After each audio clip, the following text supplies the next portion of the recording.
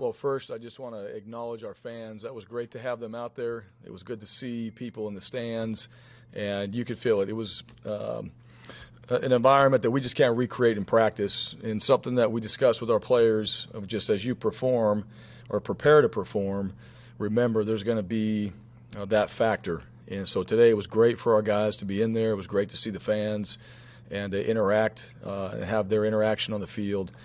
And I, I think our guys appreciated that. Uh, I know it helped us. I know at times uh, it also allows us a chance to to be able to learn from just the performance that we need to have as we get out there in front of people and we go to execute. And so uh, there was plenty of things that we did do well today, um, as far as uh, stuff the coaches have been hitting and emphasizing with each group and each unit. Uh, and then uh, some things we got to work on, which is great. We have a practice on Monday that we get a chance to come back to and clean things up, and then talk about what we're doing moving forward when we get into this time where finals are happening. Guys have a chance to take a little bit of a break, and then we come back in June and get started. So there's a lot of things that are going to be happening here this next week and moving forward. And then we all know about the June 1st and having campuses open back up and opportunities for camps and opportunities for visits. So a lot of things, but today the focus was coming out, operate, execute, and and seeing these guys just go out and play smart, play hard, have fun, and, and just cut it loose, playing the game. The only way you get better is playing the game. And so we saw, at least from you know, without going back and watching the tape, what I saw, uh, some solid execution with our blue offense. Uh, thought the blue defense played well. Uh, our second offense uh, did not move the ball very well or very consistently, but I think that's because the defense had, had been playing uh, really around the football fast and getting to them. Special teams, we got our work in, and, and, those were all just a tempo that was not live today. We wanted to get our specialists some work. Uh, they executed that. We wanted to get the communication from each sideline, getting guys on and off. Uh, and as simple as it may look, that's not hard to do. So appreciate our coaches and the players. We walked through that this morning. They had a chance to focus on those type of things, uh, and it all went well. And then just to be in a game-like atmosphere, we had TV timeouts, we had officials out there, we've got um, media on the sideline. So just creating that environment, giving us a chance to get a taste of that as we move into that next phase and start getting ready for the summer. So with that, open up for questions. First question is Ryan Matthews.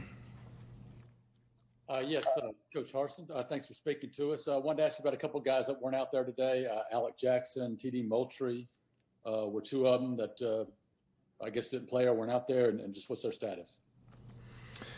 Yeah, both guys are they're, they're part of the team right now. They just weren't out there today, and um, you know as we move forward, those guys have, have, been a part of what we're doing, but today they were not, and you know those are those are things that we're still working through and uh, neither one of those guys um, at this point, uh, so I would, don't make it any bigger than it is. Uh, they just weren't out there today for, for different reasons.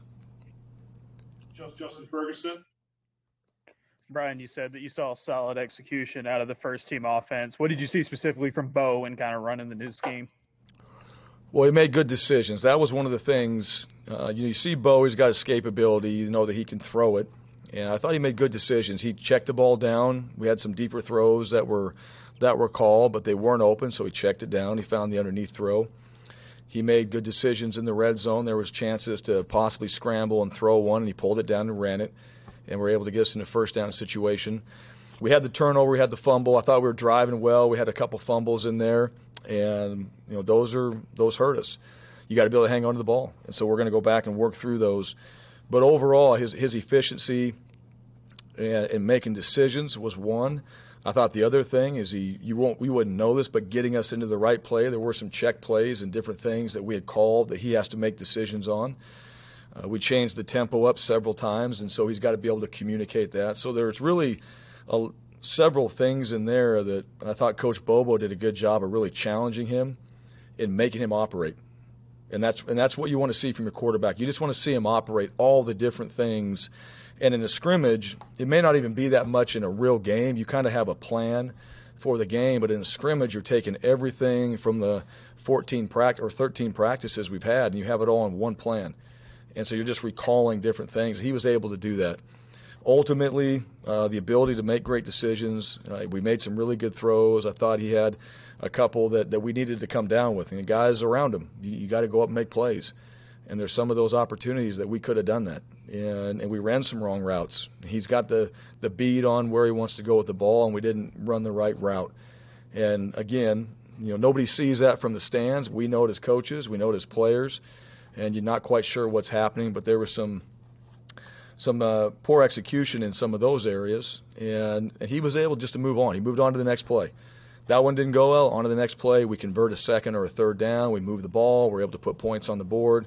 And I think one of the things Bo has, he's a weapon. When you get out there and run, you can see he's got the ability to extend plays and make plays. And he did that today. So I felt like it was solid. I think when guys around him – are playing well, and it's not just that position. Guys around him are playing well, and they're we're running the ball effectively. We're making we're making catches. I think we're capable of making.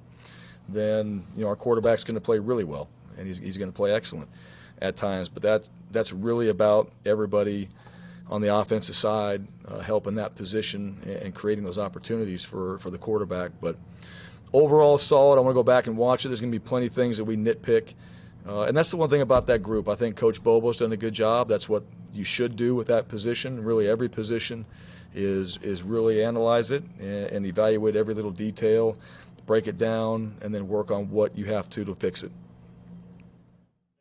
Nathan Hey Brian, you touched on it a little bit there, but how have the receivers responded? I know you said you were going to, you know, apply a little bit more pressure to them to up their execution. How have they responded over the past couple weeks, and what did you see out of them today? Well, I, I, would say solid as well. I think today we, we had um, we we had some opportunities. We, we made plays. I know that there were some really good plays that were made by the wide receivers, and and even in the run game, there were some blocks that those guys have been working on. It's hard to block some of those guys on defense. They've seen these plays, and and they're also good. Our defense does a great job of getting off blocks, and I think our defensive coaches have taught that really well. So our guys have to work hard at the wide receiver position. But we had some we had some opportunities where you know we run the right route, put ourselves in the right position. I think we're going to have a better play. And so those are the things. And everybody makes the mistakes. You know, they make some mental errors. We, are going to have some of those that come up. Uh, we need to be uh, more consistent at that position. And I think that's right now we're not where we want to be, and, and we're going to work through um, focusing on that as we get into summertime. So between now and when those guys come back and, and start preparing for June, there's got to be a lot of work done during that time of just understanding and, and really seeing a lot of the things that we can improve on. And then doing that in the entire summer and then doing that through fall camp and then uh, continuing that through the entire season. The wide receivers are asked to do a lot. You see them moving around, they're in different positions, they're in different alignments. And so they've got to study, they got to prepare, and they got to be you know, really students of the game to, to do the things we're asking them to do. Tom Green. Hey Brian, kind of going off that, I wanted to ask about uh, what you think, what you've seen from Elijah Canion this spring. Um, obviously, he kind of stood out in the bowl game, and then uh, you know had a touchdown today. Just how how he's progressed. Yeah, he's been good. He's been good, but just like I said, it's it's not really. I'm not going to single out Elijah.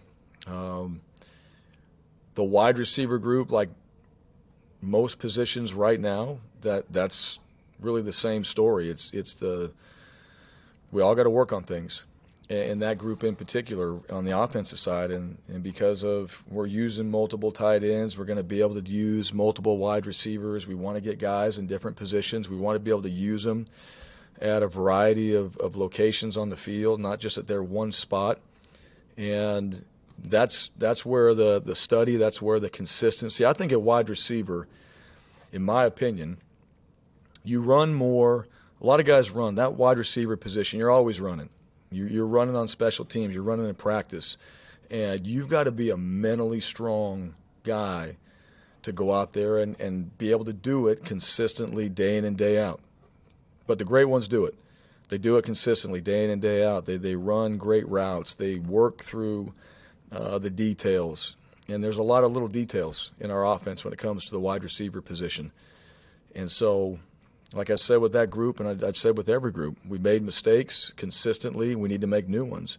Today, I thought we made some new mistakes, so we made progress in that area. We went and we made some of the same ones that we made before, and you know, at some point, that's where the, the change has to happen. There's got to be there's got to be that change in in just the habits and preparation for everybody uh, to fix those problems and move on to new ones.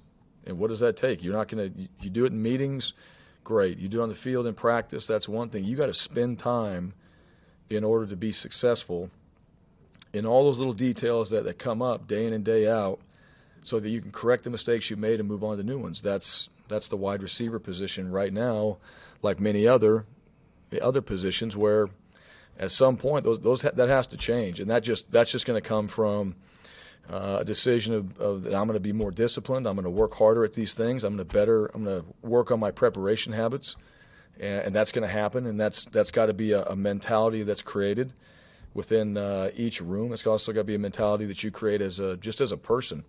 That we all work on certain things. Football is no different than what other people do in in their occupations. It's just how hard you're going to work on it, and are you paying attention to the little things, and are you doing things extra in order to you know make sure that you don't make the same mistake twice. So that's what we're working on right now with that group, and today was solid. Coach, we're going to take two more. First one is from Mark Murphy. Yeah, could you talk about the defensive front this spring, how they've come along, and also I didn't see Jaren Handy or Jay Hardy out there in the group, and I didn't see Marco Domio in the in the secondary. Right. Well, I'll start with the D line. Uh, the D line is, you know, moving JJ over there, we had that. You know, I remember I mentioned that, and I think he's been a great addition to the D line. That's helped us. We know that Jeremiah Wright is out, and so to have uh, JJ over there, that's helped. I think those guys up front have been doing a very good job. I, I really, I think Coach Eason. I've been over there with his guys during his individual and, and during the work that they do, and and they do. He does a great job with his individual. He does a great job of teaching that position. I think those guys are learning a ton from him, just how to play it and how to do it at a high level. And then D line is about effort. Once you understand that, it's getting bigger, stronger, faster. Then it's about effort. You're going to go get double teamed. You might get three, four, five double teams in a row. You got to keep going hard. Then you get that one on one. It's a chance to win it. You know, do you have enough juice left in the tank to get that done? Do you have the the proper technique and using it at the right timing to get that done? Those guys have done it. They, they seem to hold up today. Hard to tell with the quarterbacks and the sacks and all that. They weren't live, so as they come off and tag, I believe those guys are making those plays. I really do. I think the D lines worked it's, on tackling. You see them making plays on the running backs, and they're holding they're holding up you know, their end of the bargain up front, and guys are having to bounce. And when tailbacks have to bounce, if you're running something inside, it should force it to linebackers and safeties, where they got to go make plays. I thought the D line was able to, ham- to handle that today. There was a couple runs inside that shouldn't happen to us on D line. We should be in the right gap, and we should be able to to hold that gap and not allow the back tank had to run. And it was a great job by the O line, but the D line, you know, we gave up. We gave up the inside A gap, and we, we can't do that. We can't do that, and those linebackers have to be in a position to play off that D line. So overall, those guys, those guys have continued to get better and and I think making some moves on that side. I think the way that Coach Eason's developing those guys, we just you'd want 15 more practices to keep going. We don't get that. So we'll fine tune a few things on Monday, and then those guys will have to do the work on their own before we come back in the summer. And if they'll keep doing it and they'll keep working on it, then those guys up front, those they're going to keep getting better, and we're, we're going to look like a better front because of the effort and technique we play with. Yeah, yeah, Hardy. Hardy. Uh, same thing you know, those guys weren't out there today. Um, uh, various reasons, and you know, just weren't a part of, of what we were doing today. So uh, those things happen, and as we move into this next phase, um, those things will be revisited, and and then uh, we get in the summer, and you know, we have new players coming in, and then uh, we'll go from there. Last, last question is Brian Matthews. Uh, yes, Brian. I was curious if you and your staff and the players have gotten your uh, COVID vaccines yet, and if not, is there a plan to get that done in the coming weeks or months? Uh, there's staff members that have, and uh, as far as an overall team, no. And I think that's not just our team. That was a conversation that that uh, we had as head coaches, and everybody's trying to figure out what that time frame is. With, with June coming up, um, the I don't know the answer on the the vaccine and um, you know who's got it at this point, where it's going. But that's that's something I think every team's working on at this point. We do know that June's coming, and, and you saw that that's going to be an opportunity that, that opens up for for programs, and I think everybody's still working through that. The NCAA throws something out there and says it's open, but we all know that every state and every program and everybody's got different ways of dealing with this.